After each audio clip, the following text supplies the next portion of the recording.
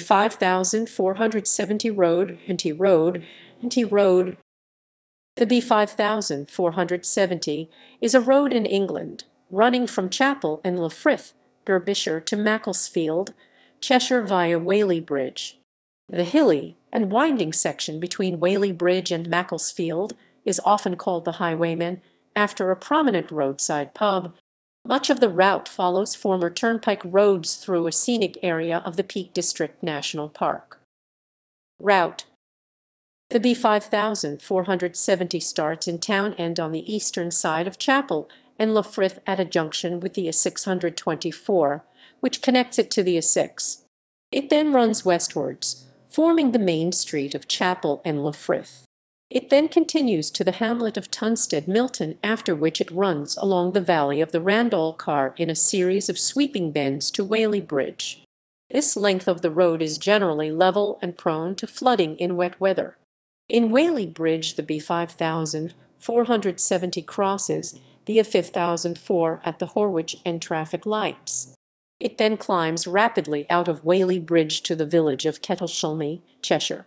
From Kettleshulme it descends into the valley of the Todd Brook before climbing via sharp hairpin bend to its highest point of 341 metres 1119 ft at Charles Head. The descent from Charles Head to the Harrop Brook is one of the few straight portions of the road. It then climbs again to the former highwayman, inn on a section that is particularly prone to accidents due to misjudged overtaking.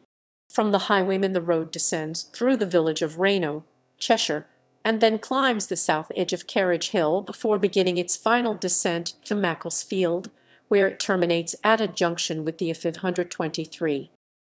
Use The B5470 is one of only two routes entering Macclesfield from the east as well as being used as a main commuter route from the towns of northwest Derbyshire, it also carries a high number of heavy goods vehicles and tourist traffic into the Peak District National Park, the last including cyclists and walkers.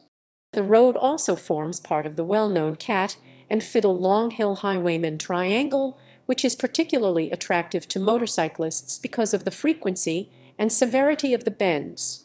Given this mix of usage, the number and sharpness of the bends, and the fact that it is not uncommon to encounter straying livestock on the road it is necessary to employ a great deal of caution.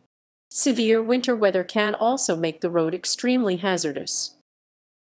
History The road follows former turnpike roads from Chapel-en-le-Frith to Whaley Bridge, built in 1727, and from Whaley Bridge to Macclesfield, built in 1770.